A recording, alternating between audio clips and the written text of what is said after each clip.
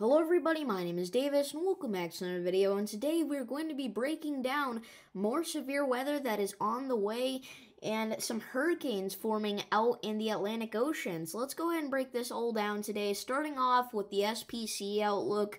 So we have two different marginal risks of severe weather. We have one down here in the deep south. This is for damaging winds that could get up to 60 miles an hour or higher, but it is not likely. And then we have a marginal risk up here for damaging winds, large hail, and potentially even a tornado. And then we have a slight risk in here for the same things. So let's go ahead and break down our tornado threat threat. We have a 2% chance uh, to see a tornado here in this region. This does include Duluth. This does include Minneapolis. So if you're in this region here, you have a 2% chance to see a tornado.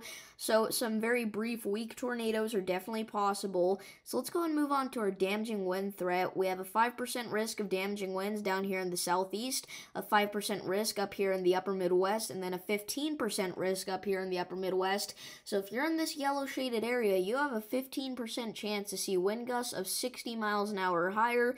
So look out for that. Let's go and move on to the large hail threat, which looks very similar to the damaging wind threat, other than it is a little bit bigger in the slight risk and uh, the southeast is not included for a hail threat. So if you're in this yellow shaded area, you have a 15% chance to see hail of 1 inch or larger, so look out for that.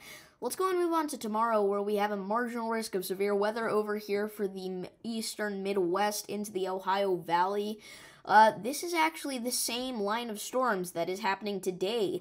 Uh, this is going to move down to the south and the east here and affect Ohio, Indiana, as well as Michigan. Uh, our tornado threat for tomorrow is currently very low, but could get upgraded, so obviously be aware of that. Uh, then we have our damaging wind risk. We have a 5% chance of damaging winds here, and then a 5% chance of 1 inch or larger hail here. So look out for that. And then moving into Friday, that line of storms will go back up north and east and eventually end up in the New England region. Uh, unfortunately, we cannot quite break down the threats for uh, Friday yet, but uh, yeah, look out if you're in the Northeast for Friday. So, moving on to the Climate Prediction Center, uh, this is our day 6 to 10 temperature outlook. So this is from August 22nd to August 26th. In my last severe weather breakdown, I talked about a massive heat dome that was expanding across the country. It has gotten bigger, but the worst of it has become more isolated and has moved down completely to the deep south. So Mississippi, Alabama, southern Arkansas, Louisiana, and East Texas, I know you're all used to extremely high temperatures, but get ready for it to get even hotter here as we go into late August. And then we also have a cold dome building up here in the northeast, actually, which is pretty interesting because it's kind of combating the heat dome down here. So if you're in the northeast from August 22nd to August 26th, you could be seeing some below average temperatures. And as it begins to cool down in general across the U.S., it might get a little chilly up here, especially since it's usually already cold in the Northeast. Especially in very northern parts of Maine, we could see highs in the 60s.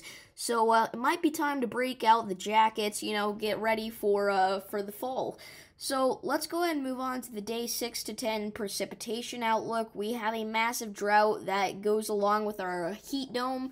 Uh, so from August 22nd to August 26th, you are most likely going to be seeing below average precipitation in this region here in the deep south as well as a little bit into the Midwest. So uh, definitely look out for that. It will be very hot, very dry, pretty miserable overall. And then we have a massive area of higher chances of precipitation over here in the uh, the west. Um, barely got that out for some reason. I don't know why I'm struggling with very basic words, but I am. Um, up here in northeastern California, northwestern Nevada, it is going to be so wet. It is going to rain a ton, and I know you guys aren't super used to that over here. So uh, get ready to have some fun days. It is going to be very wet in this region, very well wet in this dark green layer, and even above average in this dark green layer. Outside of that, it's unsure, but it might be above average, so look out for that. Uh, very wet, very rainy over here. Uh, so let's go ahead and move on to our day 8 to day 14 outlook. So this is from August 24th to August 30th.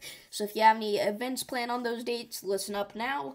Uh, here we have a, a, uh, huge cold dome expanding uh, that goes into the Ohio Valley a little bit, into the south even a little bit, into the Midwest a little bit. It's it's building up here. I'll be honest, and it's uh, once again fighting the heat dome over here and kind of winning because this is kind of just a normal heat dome that we would see now. It's not super dark red as you saw earlier, uh, and it's not quite as big, so it's not going to be quite as hot from August 24th to August 30th, but still very warm down here in the deep south, so look out for that. And uh, yeah, that's our day 8 through day 14 uh, temperature outlook. So let's move on to our day 8 through day 14 precipitation outlook. We still have a little bit of a drought happening in this region here, but it's not certain at this point. There's about a 40 to 50% chance to see below average precipitation in this region here and then a 33 to 40% chance to see that in this uh, kind of tan shaded area. Uh, and it is going to be quite a bit wet still. Not super wet, but a little wet up here, uh, or uh, precipitation wetness dome, as I'm going to call it, because I think that sounds kind of cool. Kind of moved to the northeast a little bit, and now includes many portions of Idaho, uh, Oregon, and Washington, as well as still a little bit of Nevada, and even western bits of Montana. So if you're in that region, you might see above average precipitation. Uh, same thing here for this little dome here in eastern Utah and western Colorado. So now it's time to talk about the National Hurricane Center, which, like I said, the Atlantic is getting a little nuts out here. So first off, we have this right here. This has a 20% chance to form into a cyclone in the next seven days. And if this forms, it's going to be right next to Texas and Louisiana. But, like I said, there's only a 20% chance to form in the next week, and after that, it's probably not going to form. Um, so even if it does form, it's probably going to be pretty weak, stay in the tropical depression, tropical storm labels. So it shouldn't be too uh, unordinary from any other severe thunderstorm that you've ever been in. So look out for it, but don't be scared of it. Uh, these are a little more concerning, but they are going to stay out in the ocean, luckily. This one has a 50% chance to form in the next seven days, and this one also has a 50% chance to form in the next seven days. But luckily, like I said, these are just going to be going up off to the north, just hurting the fishies and nobody else if they do form.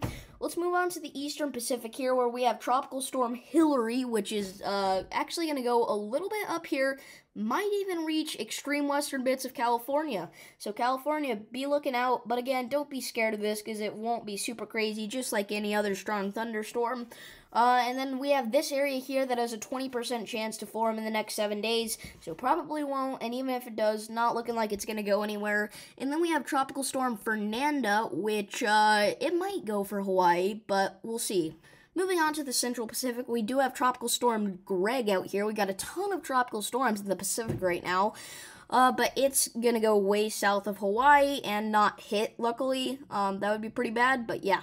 So finally, let's go and break down the excessive rainfall outlook. So we have four different marginal risks of excessive rainfall meeting flash flooding guidance here today. One in the southeast, one in New England, one in the desert southwest, and one in California. So if you're in any of those regions, you have a 5% chance to see flash flooding. Uh, tomorrow, very similar, nothing too concerning. Uh, but then moving into Friday, we do have a slight risk here in portions of Arizona and Utah. So if you're in that yellow bit there, you have a 15% chance to see flash flooding on Friday. So look out for that. Then moving into Saturday, we have another 15% chance that moves a little bit out west and now includes portions of Nevada, including Las Vegas. This still does include Phoenix, so look out for that Friday and Saturday. And then even going into Sunday, once again, the threat moves a little bit west, but still including Las Vegas, still uh, now including Los Angeles and other portions of the desert southwest here. So you could see above average precipitation that will lead to excessive rainfall. So uh, yeah, definitely look out for that. But that's all I have for this video. Uh, if you guys did enjoy, make sure to subscribe. This one was a bit more professional than my other severe weather breakdowns. Those were kind of more casual. I kind of want to move into the more professional region of things here now that I've been doing this for a while. So uh, yeah, see you guys in the next one. Peace.